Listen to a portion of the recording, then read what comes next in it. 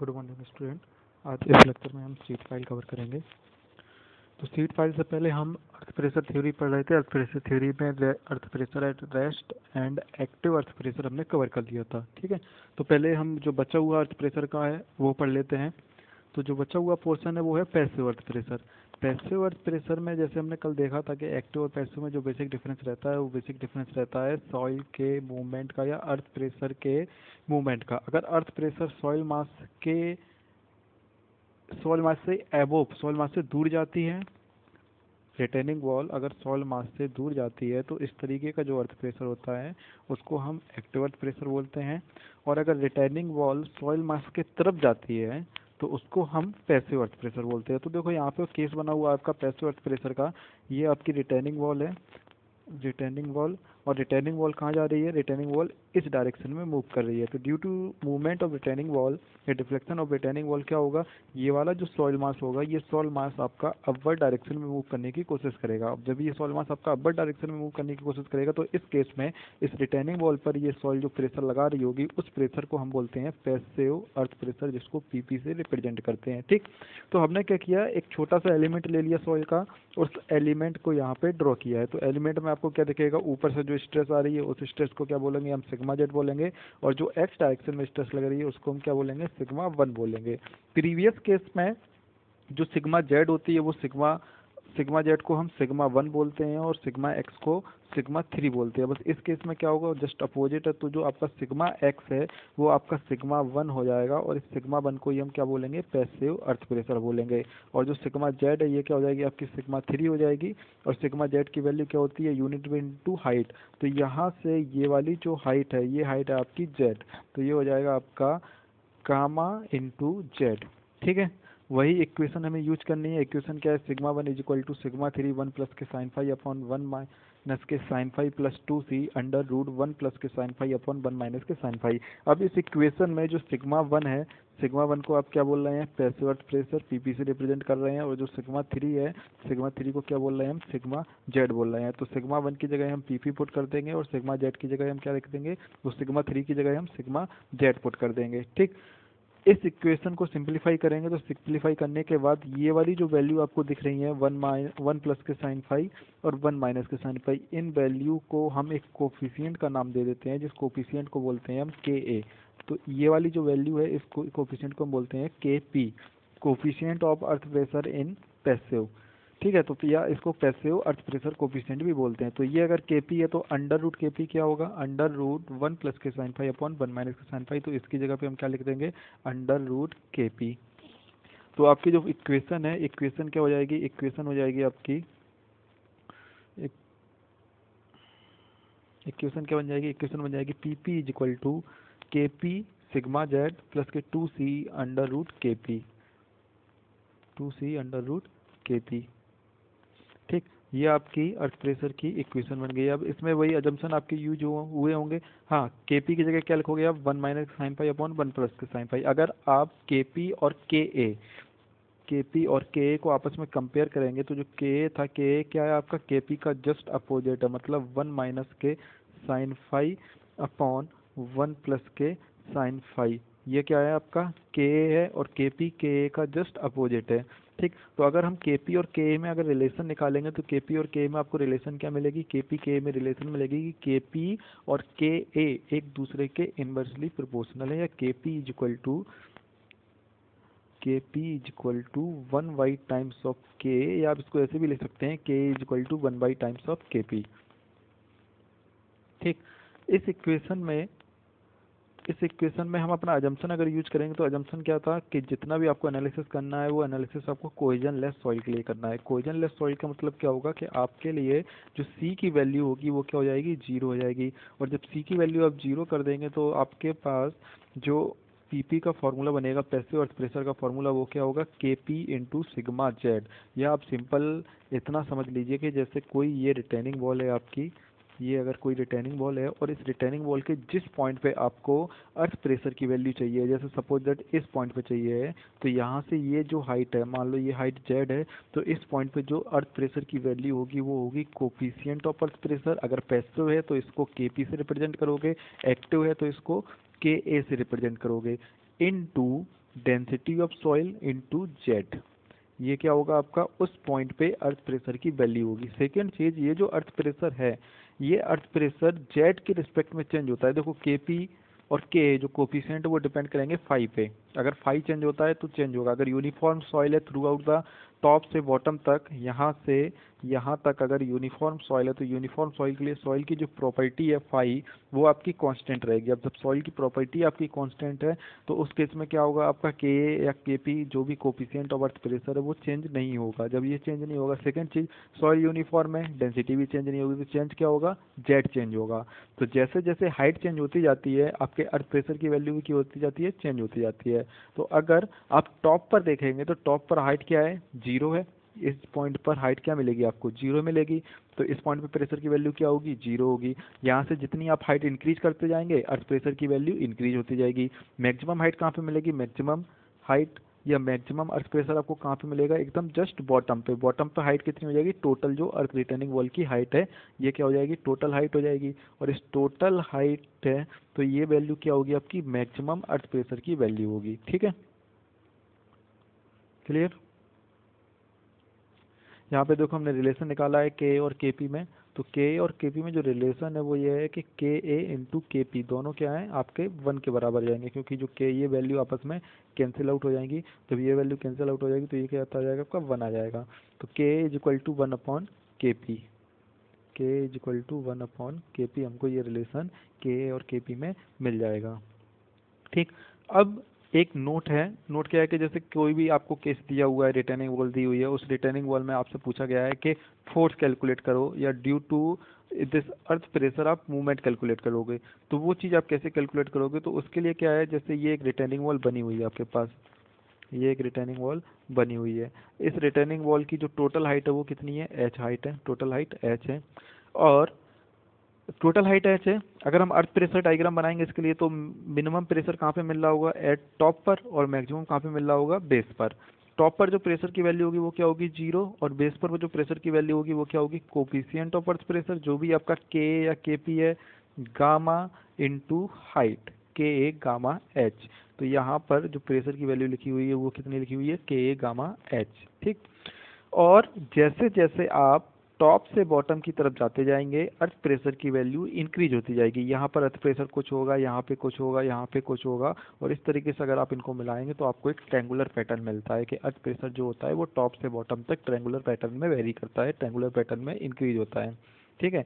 अगर हमें फोर्स की वैल्यू कैलकुलेट करनी है तो फोर्स क्या होता है? स्ट्रेस इंटू एरिया या आप बोल सकते हैं प्रेशर इंटू एरिया ठीक है? प्रेशर इंटू एरिया तो प्रेशर कितना लग रहा है? प्रेशर लग रहा है, ये जो डायग्राम आपको दिख रहा है ट्रेंगुलर पैटर्न में, ये प्रेशर लग रहा है, ठीक? तो हम क्या करेंगे, इस प्रेशर को, अगर हमें इसकी प्रेशर की वजह से टोटल फोर्स निकालना है तो पर यूनिट लेंथ हम वॉल पे बात करेंगे। जो वॉल है वॉल का कितना एरिया सॉइल के कांटेक्ट में होगा? वॉल की ये लेंथ हाइट है और इसकी लेंथ इसकी जो लेंथ होगी वॉल की इस तरीके से जो लेंथ होगी, वही एरिया आ रहा होगा एक्सपोजर में? अगर एरिया का आप बात करेंगे तो एरिया को कैसे डिफाइन करेंगे? हाइट इंटू लेंथ वो एरिया आपके सॉइल के कॉन्टेक्ट में आएगा और उस एरिया के ऊपर आपकी जो सॉइल होगी, वो क्या लगा रही होगी? प्रेशर लगा रही होगी ट्रेंगुलर पैटर्न में, ठीक? तो जो लेंथ है लेंथ को हम क्या कर रहे हैं? पर यूनिट लेंथ के लिए कैलकुलेशन कर रहे हैं तो लेंथ की वैल्यू कितना लेके चलेंगे हम? वन लेके चलेंगे। तो अगर हमें फोर्स की वैल्यू चाहिए है तो फोर्स की वैल्यू के लिए हम क्या करते हैं? ये जो आपको ट्रेंगल दिख रहा है, इस ट्रेंगल का एरिया कैलकुलेट करते हैं। इस ट्रेंगल का एरिया क्या होगा? One by two base into height तो ये हो जाएगा वन बाई टू बेस की वैल्यू क्या क्या है? के ए गामा एच और हाइट कितनी है? एच तो ये क्या मिल जाएगा आपको? फोर्स मिल जाएगा। F A is equal to K A gamma H square by two इसी तरीके से आप पैसे और प्रेशर के लिए फोर्स की वैल्यू निकालेंगे। तो पैसे और प्रेशर के लिए क्या होगा? Force F P one by two K P gamma H into H तो कितनी वैल्यू मिलेगी आपको? वैल्यू मिलेगी K P gamma H square by two ये क्या मिल जाएगा आपका? पैसिव अर्थ प्रेशर मिल जाएगा। जब पैसिव अर्थ प्रेशर मिल जाएगा और आपको अगर मूवमेंट चाहिए है तो मूवमेंट कैसे निकालोगे? देखो प्रेशर एस प्रेशर जो आपका फोर्स है, वो फोर्स कहाँ पे एक्ट कर रहा होगा? इस ट्रेंगल की सी जी पे एक्ट कर रहा होगा। इस ट्रेंगल की सी जी पे एक्ट कर रहा होगा, ये फोर्स आपका एक्ट कर रहा होगा। अगर आपको मूवमेंट चाहिए है तो मूवमेंट क्या होगा? इस पॉइंट के अबाउट मूवमेंट निकालेंगे हम बेस के अबाउट तो फोर्स इंटू परपेंडिकुलर डिस्टेंस और परपेंडिकुलर डिस्टेंस क्या होगी? इस ट्रायंगल की सी जी ट्रेंगल की सी जी कितनी होगी? एच वाई थ्री अगर टोटल हाइट एच है तो ट्रेंगल की सी जी कितनी होगी? एच वाई थ्री तो जो भी आपका मूवमेंट होगा, मान लो एक्टिव की वजह से आप मूवमेंट निकाल रहे हो तो एक्टिव वजह से मूवमेंट के निकालोगे? Force into H by three force कितना है? One by two K A gamma H square into H by three तो मूवमेंट कितना मिल जाएगा आपको? मूवमेंट मिलेगा मूवमेंट मिलेगा वन वाई सिक्स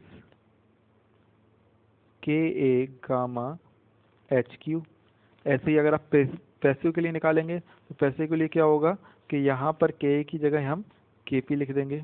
के पी गामा एच क्यू इस तरीके से हम रिटेनिंग वॉल में या आपकी जो भी आपका अर्थ प्रेशर होता है अर्थ प्रेशर की वजह से जो भी मूवमेंट एक्ट कर रहा है, वो मूवमेंट की वैल्यू कैलकुलेट करते हैं, ठीक है? अब आपका जो टॉपिक है सीट पाइल सीट पाइल क्या होता है? सीट पाइल आपका एक तरीके से रिटेनिंग वॉल की तरह ही स्ट्रक्चर होता है। उस रिटेनिंग वॉल आपके हैवी स्ट्रक्चर होते हैं, वो लार्ज कंस्ट्रक्शन के लिए यूज़ होते हैं बट सीट पाइल आपके लाइट स्ट्रक्चर होते हैं और स्मॉल कंस्ट्रक्शन के लिए यूज़ होते हैं जैसे आपको मान लो कहीं पर रिवर के ऊपर कोई कंस्ट्रक्शन करना है या आप कहीं पर ट्रेंच खोद रहे हैं तो आप क्या करोगे, उस ट्रेंच के चारों तरफ़ एक सीट लगा दोगे और उस सीट को हम क्या बोलेंगे सीट पाइल बोलेंगे, ठीक है? तो जो सीट पाइल है सीट पाइल को इस तरीके से डिफाइन किया गया है कि sheet pile is an earth and water standing structure which behave as fixed vertical cantilever in resisting lateral earth pressure मतलब जैसे कोई भी जगह है, यहाँ पे आप ये अर्थ सॉइल है या वाटर है, आपको यहाँ पे इस तरीके से ट्रेंच खोदनी है। तो आप क्या करोगे? यहाँ पे जब गड्ढा करना स्टार्ट करोगे एक्सीबिशन करोगे तो एक्सीबिशन के टाइम पे आप इसके जो एंड है बाउंड्री है बाउंड्री पे एक सीट लगाते चले जाओगे।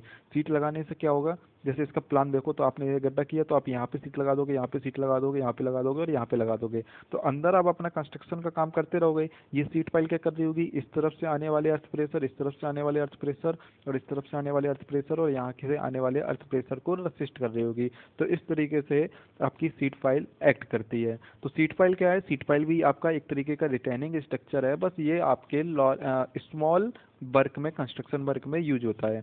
अगर आप सीट पाइल को देखेंगे तो सीट पाइल बेसिकली आपकी दो तरीके की होती है। एक होती है कैंटिलीवर सीट पाइल दूसरी होती है एंकर्ड सीट पाइल या इसको हम एंकर्ड वल्क हेड भी बोलते हैं। ठीक है? एंकर्ड सीट पाइल या कैंटिलीवर सीट पाइल तो देखो, यहाँ पे दो डायग्राम बने हुए हैं। एक है आपका कैंटिलीवर सीट पाइल ये आपका कैंटिलीवर सीट पाइल है। और ये क्या है आपका? एंकर्ड सीट पाइल है। कैंटिलीवर सीट पाइल और एंकर्ड सीट पाइल दोनों के बीच में अगर आप डिफरेंस देखेंगे तो डिफरेंस सिर्फ़ इतना है कि जिस तरफ़ आपके, जैसे ये आपका सीट फ़ाइल है, ये आपका सीट फ़ाइल है, या, यहाँ पे, एक मिनट ये आपका सीट फ़ाइल है, ठीक।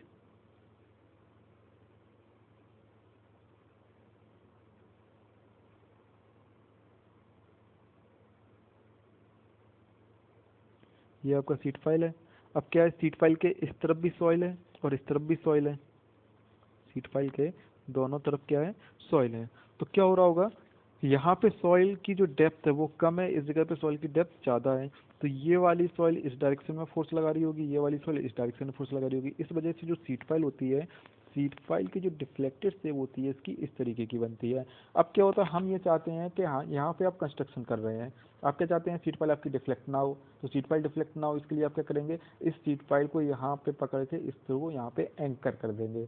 तो इस तरीके से हमने क्या किया, इसको यहाँ पे एंकर कर दिया। तो ये जो सीट फ़ाइल है, इस सीट फ़ाइल को हम बोलते हैं एंकर सीट फ़ाइल इसको क्या बोलते हैं हम? एंकर सीट पाल अब एंकर सीट पाल की अगर डिफ्लेक्टेड शेप देखोगे आप तो कैसी दिखेगी कि इसकी जो डिफ्लेक्टेड शेप है, वो यहाँ से स्टार्ट होगी बॉटम से इस तरीके की डिफ्लेक्टेड सीट फ़ाइल बनेगी। इस पॉइंट पे ज़ीरो होगा क्योंकि यहाँ पे आपने एंकर किया है, ठीक है? फिर क्या होगा? यहाँ पे सॉइल प्रेशर की वैल्यू इंक्रीज हो रही होगी और इस तरफ़ से भी सॉइल प्रेशर लगना स्टार्ट हुआ। तो क्या होगा? यहाँ पे जो डिफ्लेक्शन है वो ज़ीरो होता चला जाएगा। यहाँ पे डिफ्लेक्शन आपका मैक्सिमम मिलेगा और यहाँ पे डिफ्लेक्शन थोड़ा सा निगेटिव हो जाता है। तो इस तरीके से आपकी एंकर सीट फ़ाइल होती है। तो ये जो एंकर सीट फ़ाइल बनी हुई है, ये आपकी anchor sheet pile shallow foundation या सेलो डेप्थ पे बनी हुई है। अगर आप एंकर सीट पाइल में की डेप्थ इंक्रीज करते हैं डेप्थ इंक्रीज करने का मतलब क्या हुआ कि यहाँ पे इसकी आप लेंथ इंक्रीज कर दोगे। जब देखना डेप्थ इंक्रीज करोगे तो इस तरफ़ से भी सॉइल की प्रेशर की वैल्यू इंक्रीज होगी और इस तरफ़ से भी सॉइल प्रेशर की वैल्यू इंक्रीज होगी। तो क्या होगा कि ये जो आपको डिफ्लेक्शन मिल रहा था, ये जो यहाँ पे डिफ्लेक्शन मिल रहा है, जो सीट पाइल के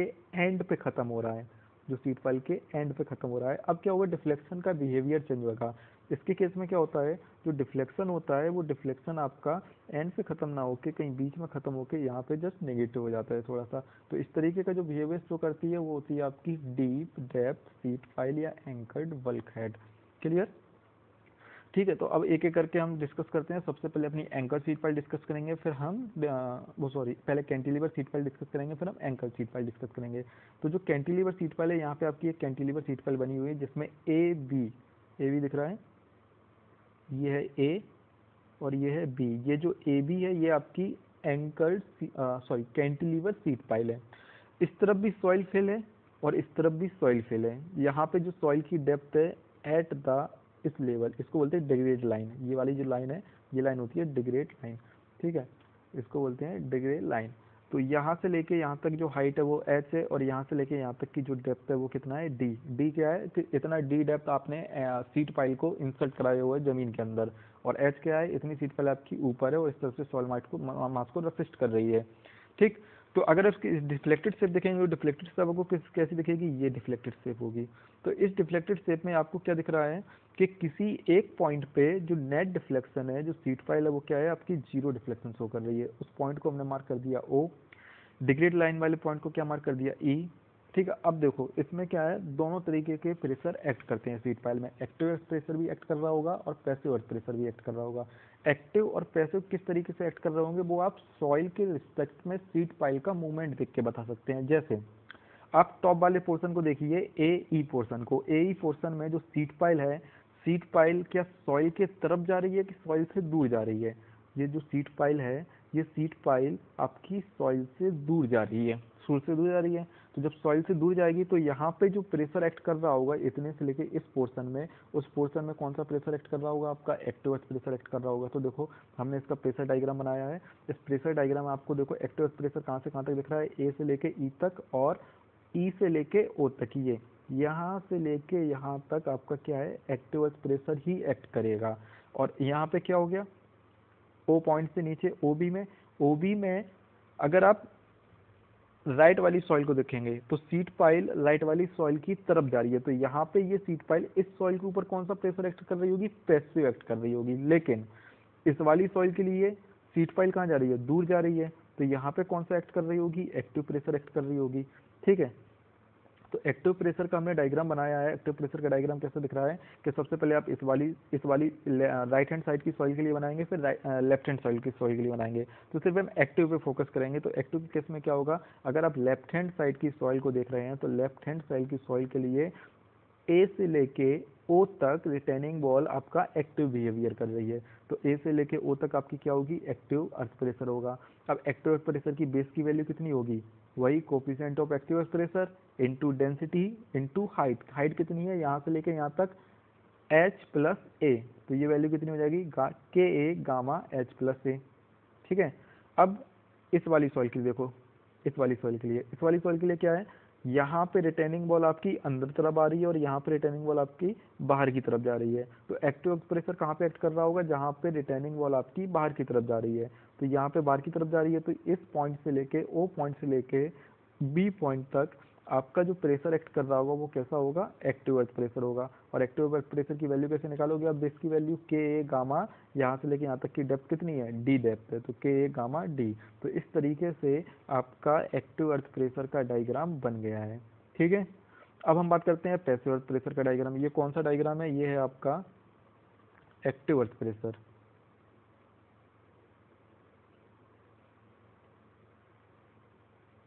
active earth.